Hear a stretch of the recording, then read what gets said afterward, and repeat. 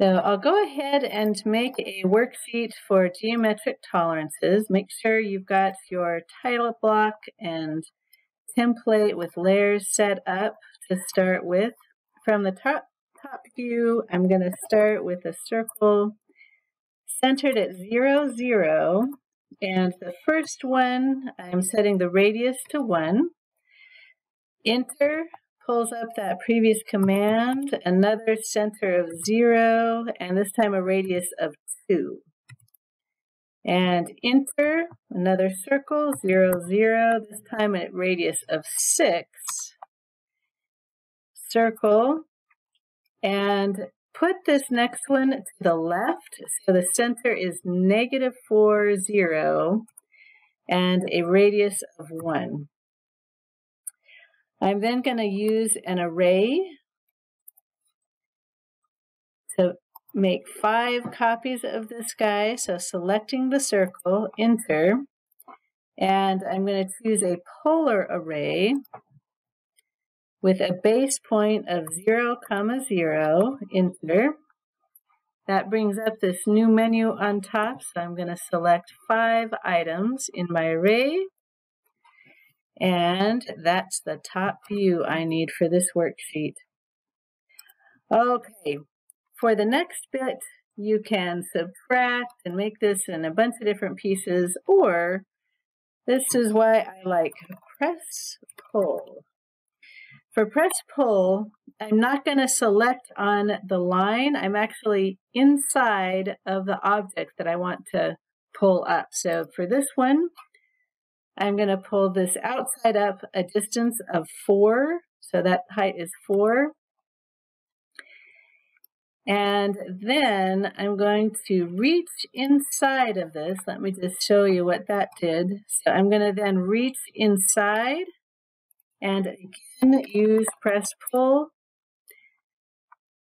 Not clicking on the line, but in between on the surface. So make sure to click on the surface and that will get you a solid and this piece goes up a distance of 8.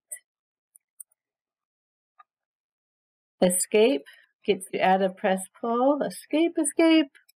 Right now the, the center is a different piece than the edge.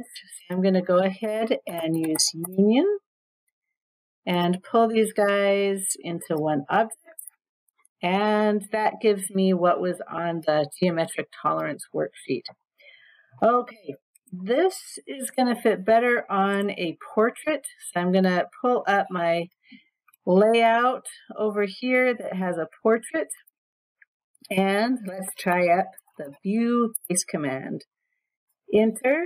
I'm pulling the object from model space and I'll go ahead and leave it as the default size to give ourselves lots of room. So click enter and then click. Right now I have a lot of hidden lines in my front view and what we would like to do is create a sectional view. Now this is a little bit of a um, our sectional view should actually cut through kind of the interesting radial features of this object. And we're going to have to kind of fight with AutoCAD a little bit to get all of these hatching patterns in there. So this is why we started that array pattern to the left-hand side is because this will not pull off straight down if it was from the other side. So I have my snaps on so that I can snap to the center. I'm pulling it off out to the out to the edge of this. So not right on the circle, but to the edge. And I'm going to bring it right here to the center. And then if I hover over the center of this circle, we'll see if it kind of helps me to pull this out from the center to continue that line out. So I'll say enter.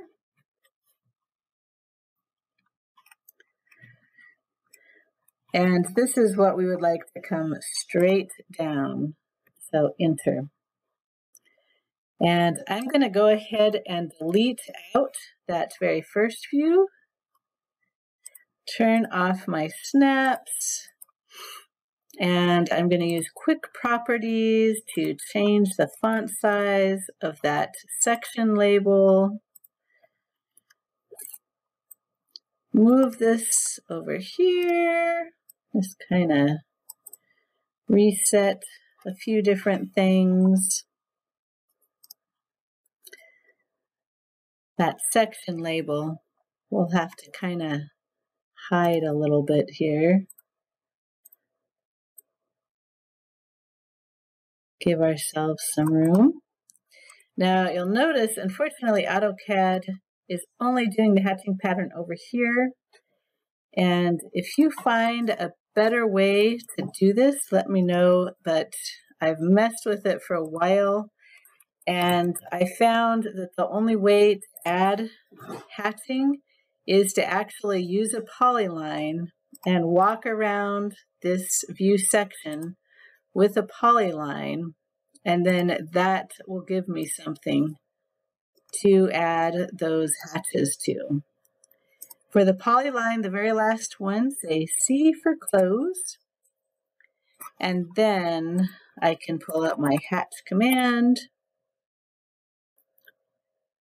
And we're going to pick the internal layer. Now it is pulling up the same hatching pattern as it already had going in there. So that is that is what I'm going to do to get the hatching in here correctly. So yeah, if someone is able, it's, it's just an artifact of not having that sectional view straight through the center of it.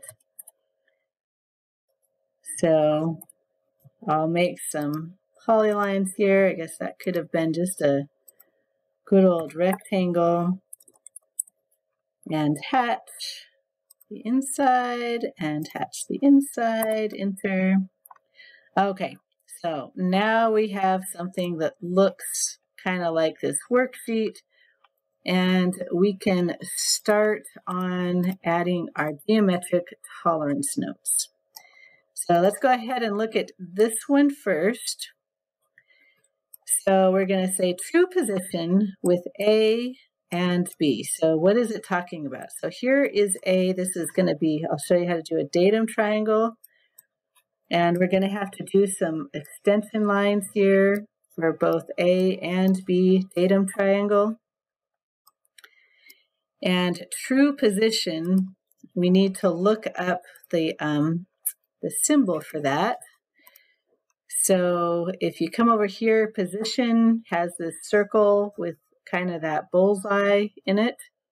So that's what we're after there for our geometric tolerance notes.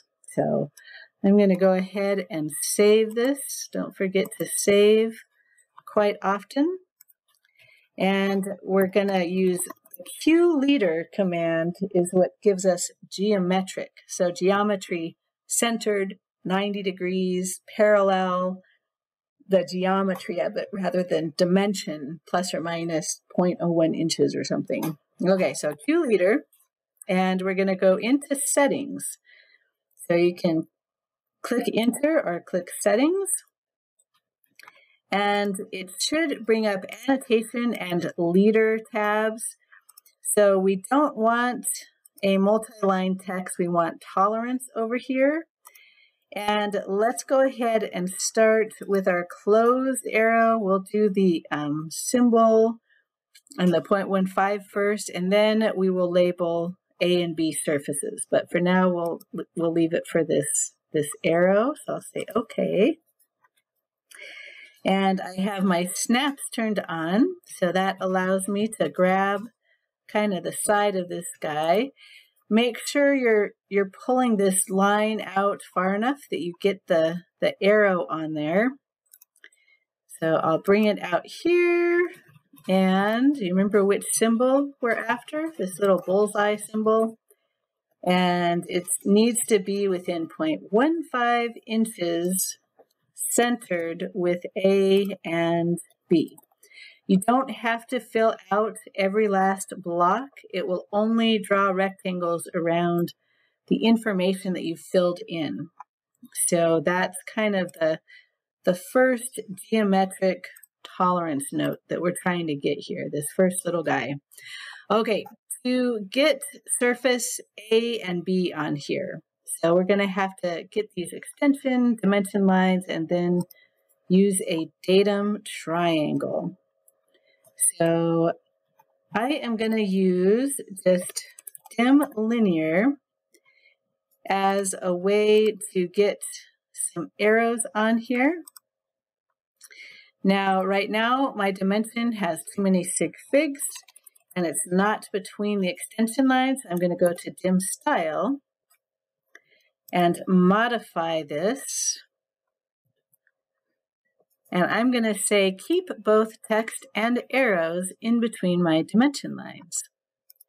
And I can come over here and I can change my format, my precision, if I would like. So I'll go ahead and say set current and close. Let's go ahead and try that dim linear one more time. Now that we've done our dimensional settings a little bit differently, you'll notice now my dimension can actually fit in between those arrows. So I'll try and center that on there.